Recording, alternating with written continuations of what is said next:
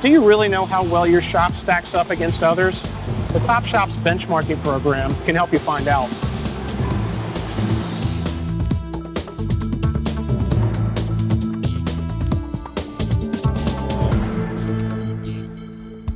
I'm Derek Korn, Senior Editor of Modern Machine Shop Magazine. Each year, hundreds of shop owners and managers participate in our Top Shops benchmarking program. The survey enables them to compare business and machining metrics against industry standards. It also lets them get a chance to see what types of machining technology and processes leading shops are leveraging. Today we're visiting WSI Industries in Monticello, Minnesota. WSI participated in our most recent Top Shop survey. In fact, they performed particularly well in the shop floor practices section of the survey. I'm here with Benjamin Rashleger, president of WSI. Benji, why don't you go ahead and tell us a little bit about WSI and the work that you perform here?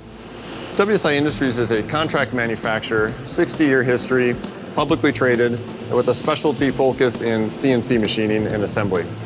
Our business is broken down into three main areas, high volume aluminum machining, large steel parts for the energy segment primarily, and repetitive batch. We focus on larger volume, longer term programs, which generally require a little bit more capital and a much more significant investment in process up front.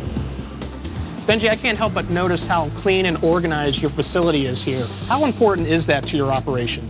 Uh, cleanliness is very important to us. We believe in having a very clean environment for our employees, and it's very important also for us to show our customers and our prospects as we bring them through our facility. So your entire facility is temperature controlled too, right? That's correct. We maintain a few degrees tolerance in the entire facility. That way we can ensure that we meet all the high tolerance requirements of the majority of the programs that we machine for our customers. Benji, I noticed a number of shop floor CMMs out here. What is the value of having such sophisticated measurement equipment very near production? We believe that our operators own their quality, and most of our operators are responsible for inspecting their own parts, including on the CMM machines. We also have the FARO arm for the larger parts, and that's also done right on the floor. It's the advantage of having our entire facility temperature controlled. That way we don't have to have our CMMs in a dedicated quality lab. Benji, you've got a number of machining cells here on the shop floor. How does your approach to high volume production differ from your small batch work? Many of the programs that we run for our customers are very high volume in nature.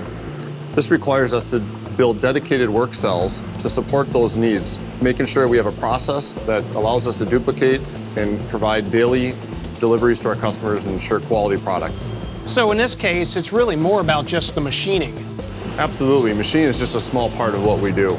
We provide complete turnkey solutions to our customer. This starts with working closely with our engineering group up front to make sure that the product is designed and developed in a way that best supports our ability to machine it.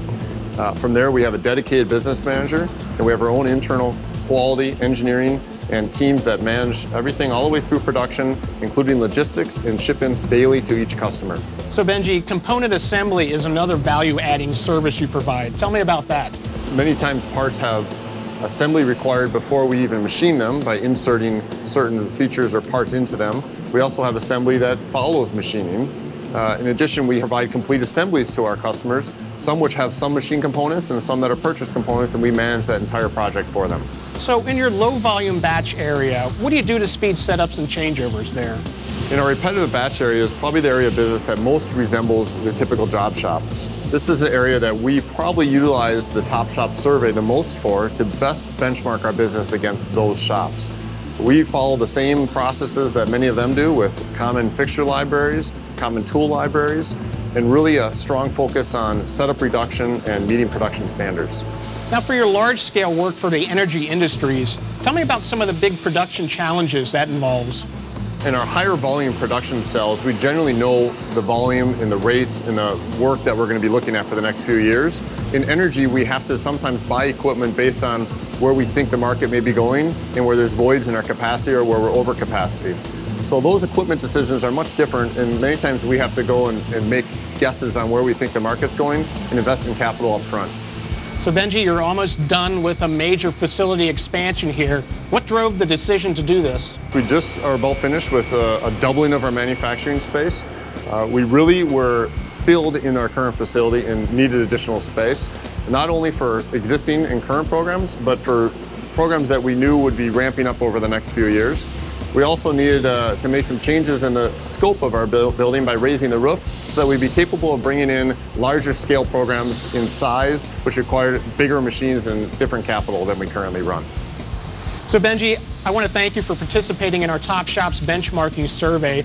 I'm curious, what value do you place on benchmarking your business against others?